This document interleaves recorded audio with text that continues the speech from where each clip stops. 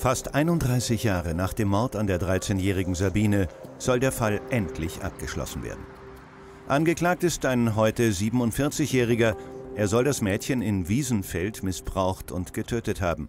Anschließend, laut Anklage, hat der damals 17-Jährige die Leiche in einer Güllegrube entsorgt. Durch neueste kriminaltechnische Untersuchungen wurden DNA-Spuren von ihm am Slip des toten Mädchens nachgewiesen.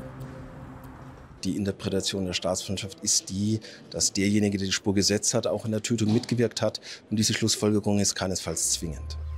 2021. Ermittler rekonstruieren die Tat. Unter anderem soll Sabine um Hilfe gerufen haben.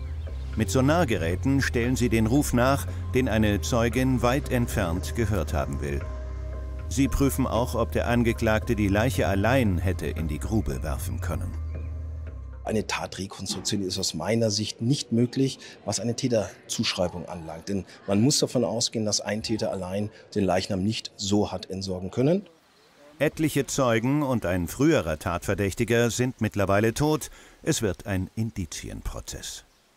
Ich denke fast, dass äh, die Familie zwischenzeitlich schon mal abgeschlossen hatte mit der Sache. Ähm, die Situation damals direkt nach dem Mord war natürlich katastrophal, ähm, ganz klar.